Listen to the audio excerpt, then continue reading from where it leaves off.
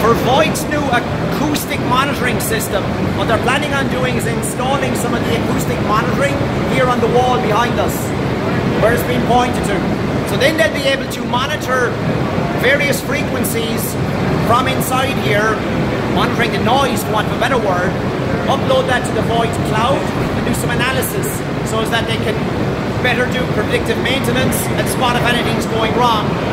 Industrial IoT in action.